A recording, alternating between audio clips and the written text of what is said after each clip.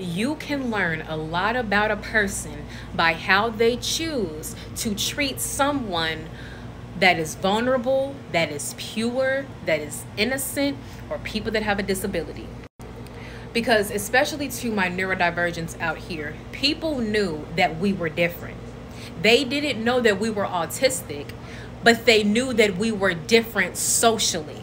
Okay, they knew that we had a social deficit and that there were ways that we interact socially that was not up to par of everyone else. It's like that level of socialization, we hadn't reached that level yet. It was almost as if you were we were underdeveloped. We were you know kiddyish in a way when it came to our socialization, but it's all within our autism because our brain processes so many things at one time and our brain has things that we love to talk about that when that for our brain to slow down and to have something about small talk or to just have a way where we could just piggyback off of conversation that is not of something that interests us it requires a lot of processing that our brain just cannot do because there's so much processing at one time because our brain uses up more capacity than neurotypicals that when it comes to having to slow down a bit of our brain just in order to be able to have conversation and piggyback off of stuff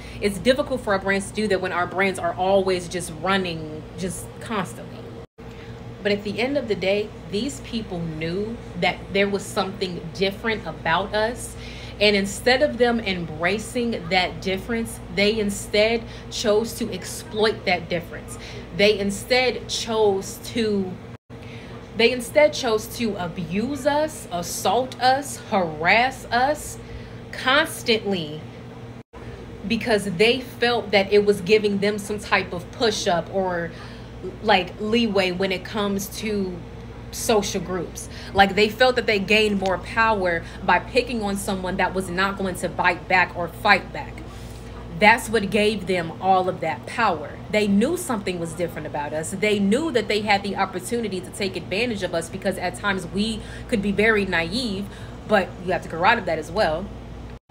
They knew something was different and they still chose to go against us. They still chose to hurt us the way that they did that says a lot about them about who they are as a person. Because if you don't know a person from a lick of paint but you can see them as a pure-hearted gentle soul innocent soul and instead of treating them with love and kindness and gentleness the same way that you that you had treated them they instead want to give you hatred and abuse because they need to let that out. They are bad people